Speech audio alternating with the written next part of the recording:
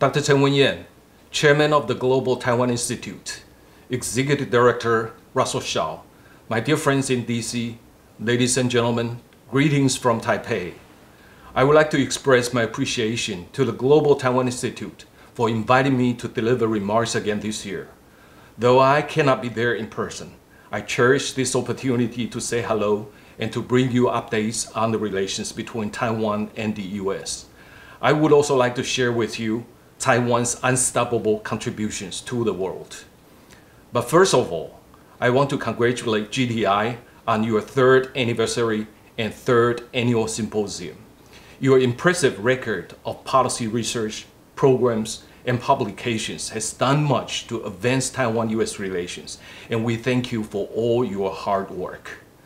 This year marks the 40th anniversary of Taiwan Relations Act. This law has played an indispensable role in shaping American strategy in Asia and has provided a reliable security umbrella for my country. It has served, along with the six assurances, as a guiding principle and a cornerstone for a deep, robust, and comprehensive partnership between Taiwan and the US.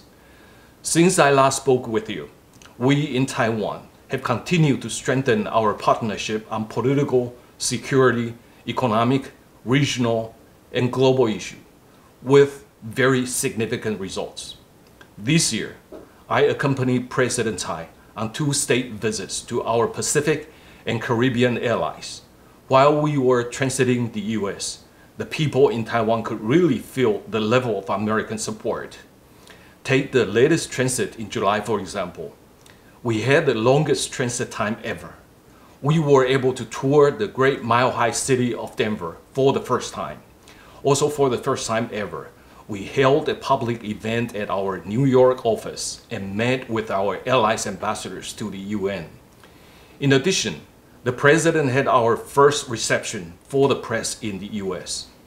After the transits in July, I guess no one will question US support for Taiwan any longer. The progress in Taiwan-US relations could also be seen in June when the Coordination Council for North American Affairs, or CCNAA, was renamed the Taiwan Council for U.S. Affairs, or TCUSA. This name change may seem like a small step, but it is highly significant for U.S. recognition of the new reality different from 1979. Since 2017, the U.S. government has announced five arms sale packages to Taiwan worth over 12 billion US dollars. This highlights the great U.S. support for Taiwan's defense needs. Just last month, the State Department notified the Congress of the sale of F-16V fighter jets these came after the July announcement of Abrams tanks. We are extremely grateful. We will continue to ramp up our defense investments and bolster our self-defense capabilities. We want to preserve peace and stability through strength. And I want to make it clear to you, we are determined to defend ourselves and nothing will alter our determination. In the midst of the US-China trade dispute, the Taiwan delegation with 112 members, was again the largest to the Select USA Investment Summit. Our willingness to invest in America and to boost the Taiwan-US trade partnership was very much in evidence. In addition, our agricultural trade goodwill mission will arrive in the US next week to arrange purchases of soybeans, corn, wheat, and meat products the mission will shell out 3.7 billion US dollars over the next two years. We are supporting American farmers with direct action. As America's 11th largest trading partner, we thus hope for a constructive talk with the US on bilateral trade as soon as possible. Our aim is to consolidate a free, open, and rules-based economic order in the Indo-Pacific we very much appreciate the long-term U.S. backing for our meaningful participation in international organizations. In May, U.S. Secretary of Health Alex Azar expressed support for Taiwan's participation in the World Health Assembly. He emphasized that the voice of the 23 million people of Taiwan deserved to be heard. And in July, PDAS Jonathan Moore said that the U.S. will forcefully advocate for Taiwan's participation across the international system, including ICAO, Interpol, and anywhere else Taiwan can contribute. P. Moore got it right. Taiwan can contribute and has long been contributing on many fronts. As President Tsai has said, Taiwan is a contributor to regional peace, not a troublemaker. You know very well that someone else is entitled to that reputation. Taiwan must keep on contributing to the world and acting as a force for good. We have been sending agriculture and medical teams to small countries across the Indo-Pacific to benefit people who do not have adequate resources. We have been providing scholarships and job training opportunities to help build up their capacity.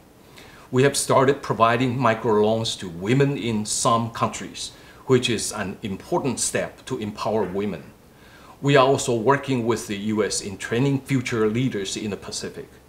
Our effort is proudly described as the Taiwan model of assistance, benefiting the people directly and leaving no debt trap behind. I'm very glad to tell you that our aid efforts are now supported by OPIC. We have been in close consultation with each other on specific programs. We have worked out our first joint project in Paraguay, and hopefully we will have many to follow elsewhere.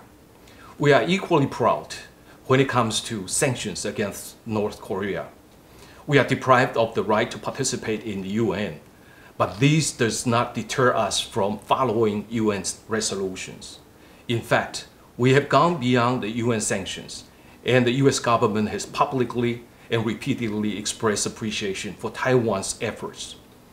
Meanwhile, we continue to work with the US as a member of the anti-ISIS coalition by providing humanitarian assistance to Iraq and Syria. In addition, our medical supplies have also reached Venezuela, a country where our office was forced to close down by the government there.